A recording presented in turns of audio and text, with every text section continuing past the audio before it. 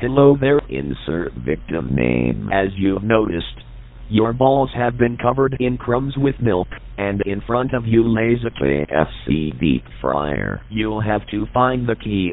Next to you there are replicas of bird mouths. Choose wisely and you will be able to escape this puzzle. Best of luck and may God help your soul find a way to peace.